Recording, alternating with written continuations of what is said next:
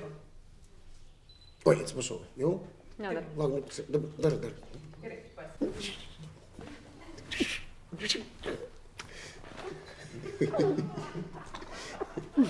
Daar is experience issues.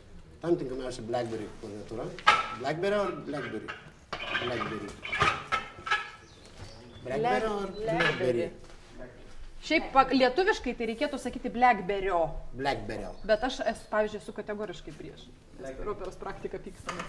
Sakyk figarui, nesakysiu. Bet reikia dar Sakyk tada figarą, sakyti- nesakysiu. Bet reikia sakyti, Kai aš pirmą kartą sumaigiau Blackberry klaviatūrą, aš supratau, kam buvo sukurti mano pirštai. svarbiausia, kad ten jie puikiai išsimiegu. Tam tinkamiausia BlackBerry. BlackBerry. Blackberry. BlackBerry. Blackberry. Klaviatūra. BlackBerry. BlackBerry. BlackBerry. BlackBerry. Klaviatūra. Nors sakyti, nu tu blackberry. Gražu. Šalta. Ir kosminį greičių laksas jis laksas. Taip daryt?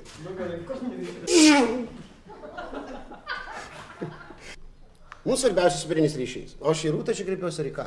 Ar į kamerą? Mums svarbiausia superinis ryšys, taip?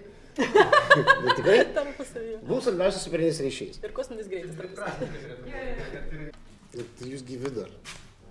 O kas gali būti geriau už Blackberry chatą?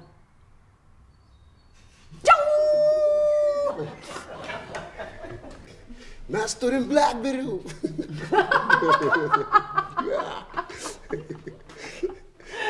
Blackberry. Čia, Lietuvos Blackberry. Aš pavargau su tavimi kalbėtis, parašyk man viską. Gerai.